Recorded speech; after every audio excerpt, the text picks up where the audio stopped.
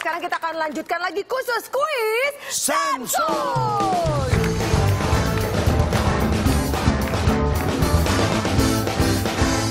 Sensus yang keempat. Ini sensus terakhir. Ada kesempatan Ayo, tim A. Kita untuk bisa. mengejar. Kita bisa. Oke.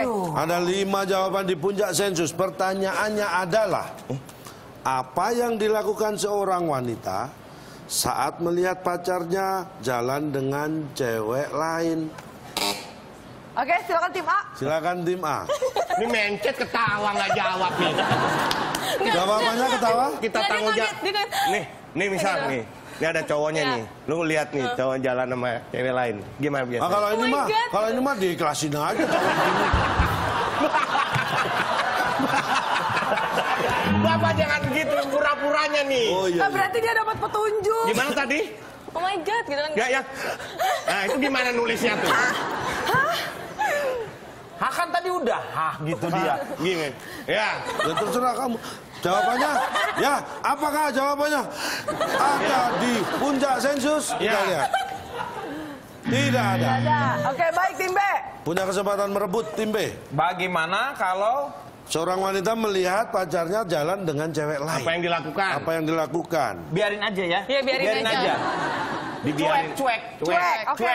Cuek. Kita kunci Ikan ya. cuek. Cuek, biarin aja. Apakah ada di puncak sensus?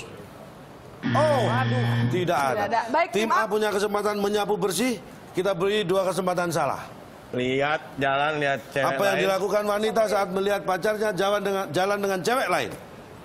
Apa? Disamperin. Oh, samperin. Disamperin. Ya. Iya, apakah kita kunci ya? Iya. Apakah disamperin ada di puncak sensus? Penonton ikhlas bisa menyiapkan? Penonton bisa Jawabannya? menyiapkan jawaban masing-masing. Oke. Satu Pemain lagi. musik juga bisa menyiapkan bekal masing-masing. Jawaban. Kesempatan kedua tim A. Kesempatan Masih terakhir. ada terakhir. Disamperin nggak ada. Dibiarin, Apa dibiarin. yang dilakukan dipanggil. seorang wanita ketika melihat pacarnya Eh, jalan tahu dengan tahu cewek tahu lain? tahu. Dia apa? Woi! Teriakin. Diteriakin. Teriakin. Yakin? Diteriak. Jangan tulis diteriakin. Woi! Oh, woi. Karena pertanyaannya ini apa yang dilakukan, bukan apa yang diucapkan. Pilihannya, gue apa diteriakin. Diteriakin woi!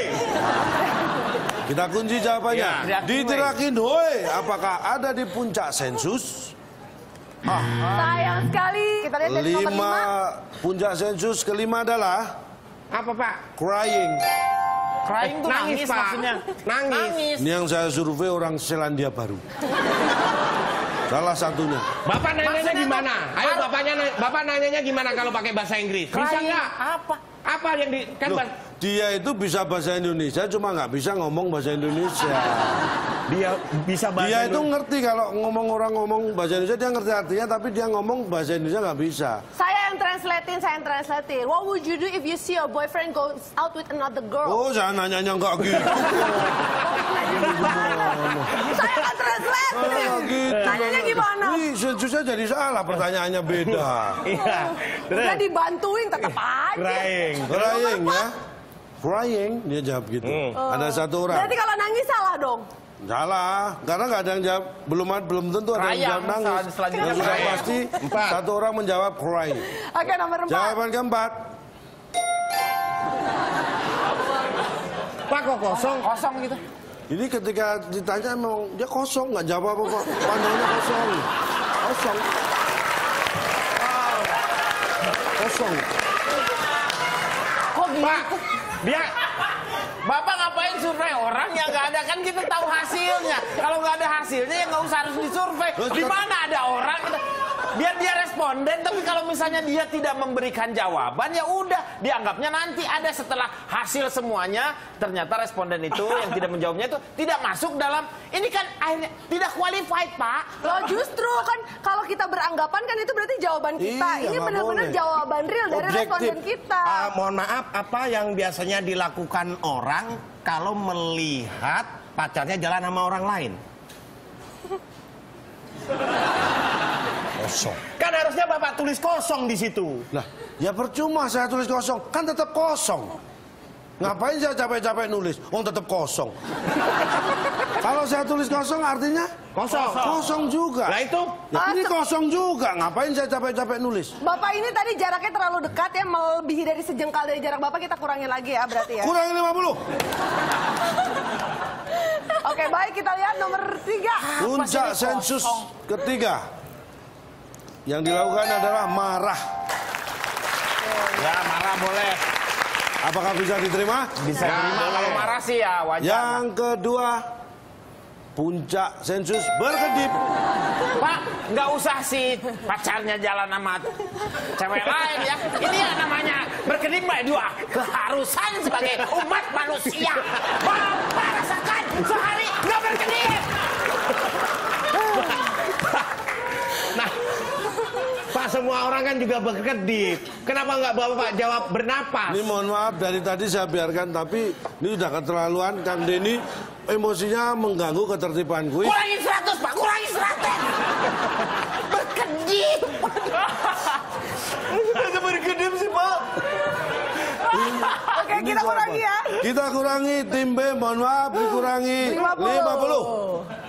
Oke, baik. Di puncak sensus pertama jawabannya apa yang dilakukan saat melihat pacarnya jalan dengan cewek lain adalah Tidak. Iya, betul, mengucek mata. Mata siapa yang dikucek Pak? Nggak terserah. Pokoknya jawabannya mengucek mata. Kalau gemes sama pacarnya bisa pacarnya disamperin matanya dikucek juga bisa. Bisa ngucek mata sendiri. Pokoknya mata yang dikucek. Nah, Kalau gini nggak dihitung karena ini telinga. Oh iya.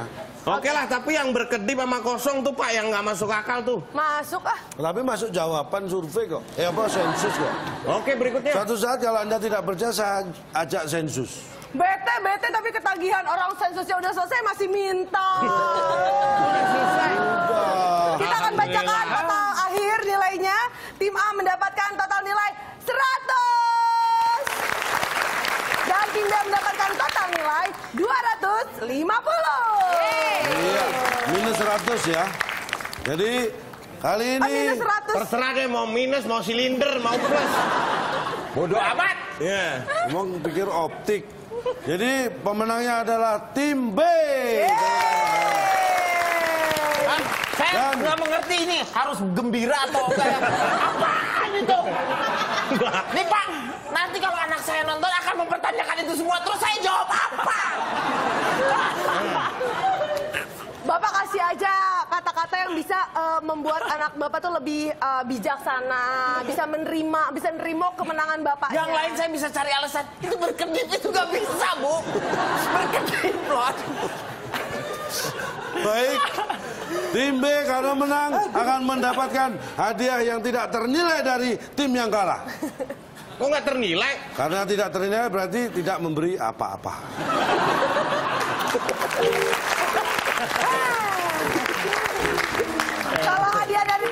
Tidak ternilai, tapi kalau misalkan mendengarkan eh, kesimpulan dari materi kita untuk hari ini, itu pasti sangat luar biasa nilainya ya, karena pasti sangat bermanfaat untuk kita eh, gunakan sehari-hari di masyarakat ya, untuk kehidupan kita. Silakan Cak. Tapi sebelum saya memberikan konklusi bisa disapa teman-teman kita yang hadir malam hari dari mana Tentu- saja? tentunya terima kasih banyak untuk teman-teman dari Institut Teknologi Indonesia.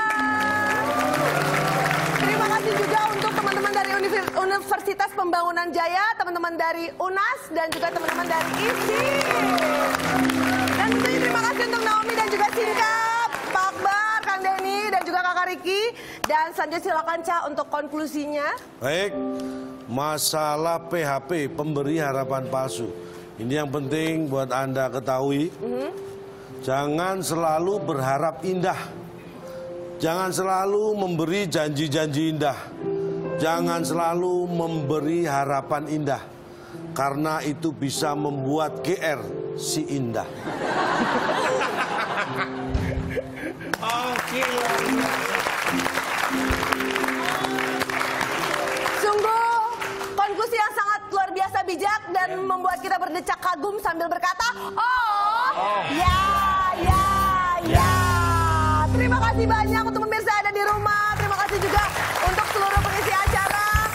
Minggu depan nanti kita akan bertemu lagi tentunya di acara yang membuat kita semakin uh, cerdas, semakin bijak, semakin berwawasan. Tentu jadi WIB Waktu Indonesia Berjaya.